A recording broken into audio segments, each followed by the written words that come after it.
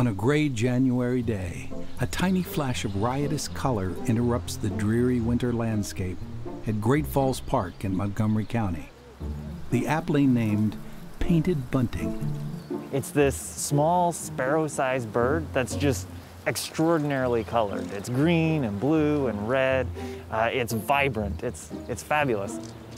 First spotted on New Year's Eve, this solitary straggler's appearance in the park, nearly 1,000 miles north of the species' closest wintering grounds, has attracted a flock of eager birders, among them lifelong avian enthusiast Gabriel Foley. He's down at the very bottom now, almost where there's a little bit of green. I came out to see this bird for the first time on January 1st. Uh, I, I got an alert that a painted bunting had shown up and I thought, oh man, this is a bird I, I've got to see in Maryland. It may have gotten up here just because of a, a, weather event. It could be a genetic thing that's telling it to migrate to, to the wrong place. But uh, here he is all by himself, mostly just hanging out with the drabber brown sparrows and uh, just enjoying his celebrity status a little bit. But while this particular bird's appearance is something of an anomaly, there's a chance that local birders might have more opportunities to see painted buntings in the future. As climate change pushes the species' summer breeding grounds north from Florida and Georgia into North Carolina and beyond. In fact, in 2017, the first record of painted buntings nesting in Virginia was discovered during something called the Virginia Breeding Bird Atlas.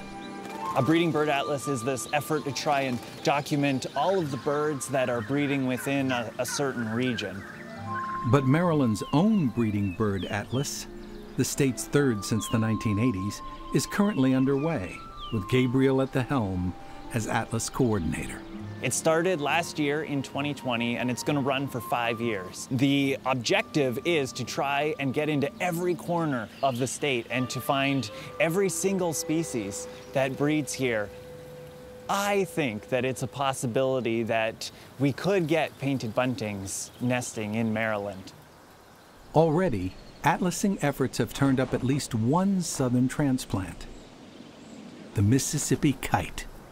The Mississippi kite is a raptor that is normally in the southeast and also in the prairie west, but year by year they're starting to come up, and now we have a well known sighting in Rockville, Maryland smack dab in the middle of the suburbs.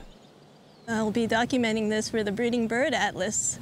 It is a, a, pair that have nested and a nestling has been seen and being fed, so it has the highest confirmation nest with young. Emily Huang is a volunteer atlaser, one of many who make this massive citizen science project possible. All of the data collection is by volunteers, and it's just this monumental effort. We've got about a thousand people who are involved with it right now. Today, Emily is atlasing at the McKee-Beshers Wildlife Management Area in Montgomery County, where she also serves as the county-level Atlas Coordinator. Atlasing is very similar to birding. Basically, you bird as you normally would. In addition, you spend a little time watching the behavior of the birds that you see and logging any signs of breeding activity.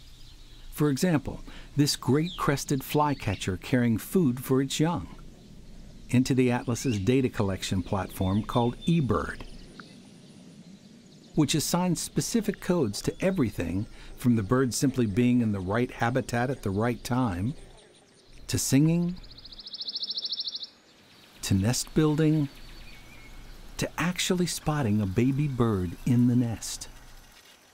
And anybody can go and look almost in real time and see the results. So if you wanted to see, well, where are bald eagles nesting in Maryland? You can go to eBird and you can find where the eagles are nesting in Maryland. Down to within three miles. The whole state and DC is divided into what I believe are 1,300, 1,302 blocks, approximately three by three mile areas, and each sighting is tied to a particular block. Blocks are usually best taken care of by someone adopting them. So a volunteer birder will bird across the whole block, covering all the different habitats that are found there. Whether woodland, farmland, suburbs, wetland, or water.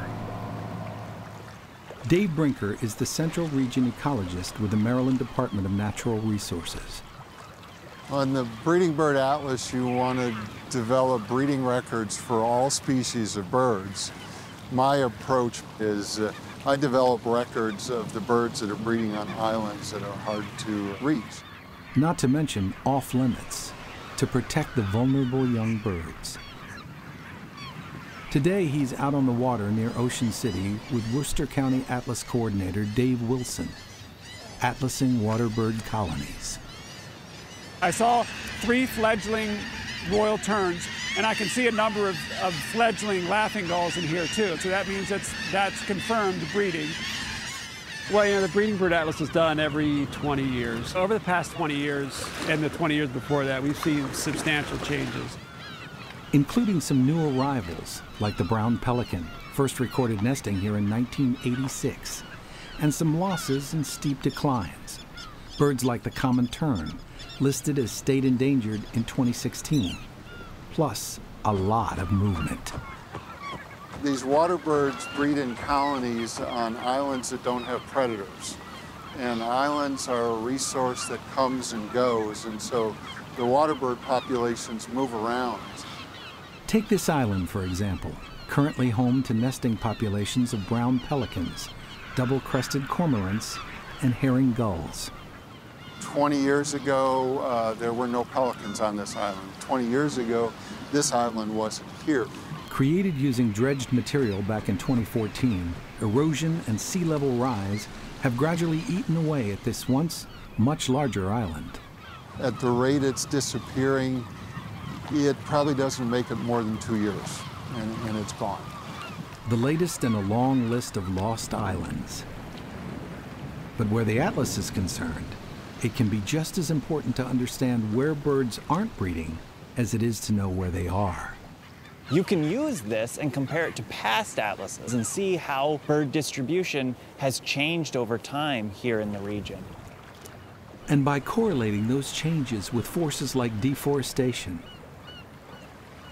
development, and climate change, scientists can begin to unravel the question of how to best protect the state's bird populations, both for their sake and for ours.